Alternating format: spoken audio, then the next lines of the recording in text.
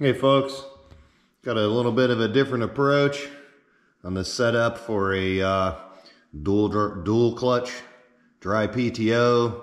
It's behind a Perkins 236 diesel on a Massey Ferguson 175.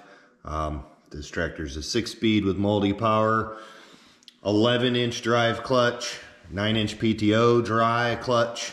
Um, both are 10 spline rather than messing with the uh, the input depth between the hub face and the, uh, the nuts, the round nut or round bolts that uh, drive on the throw out. I decided to uh, indicate one as best I can and then zero the others to it using a dial indicator and rolling the uh, the flywheel assembly. Seems to work out a lot better than fumbling with the uh, the, the the hub to bolt depth here. Get you a little closer.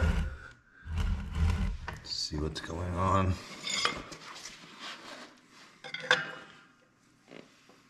Roll it around. You can see some contact, get to zero, on to the next one.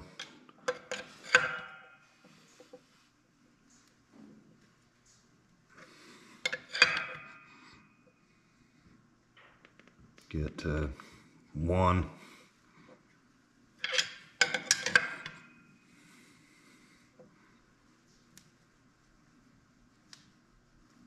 to close to zero. And as you can see, you can rev check them. Get in here, check the spring loaded, and roll it around again.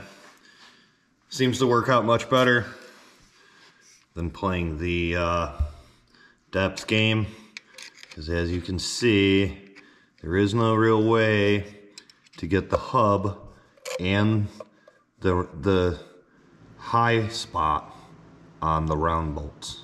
You can get the edge, but you are, don't get the center on any indicator that has the plunger coming out of the center. So rather than do that, let the indicator tell us it's as easy as uh, roll the bolts with it touching and you can select your zero depth. Maybe it'll help some guys. It's real easy stuff. Little cantilevered arm, magnet base, and uh, away you go. I have a depth of about 48 using this as best I can and a flat plate between the rounds. So with that said, Hopefully I get them close enough and we don't have to do it twice. Hey guys, keep working on your shit. I know the struggle. See ya.